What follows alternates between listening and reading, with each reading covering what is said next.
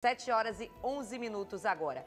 E eu tenho informações de um ônibus que pegou fogo na região oeste da Bahia.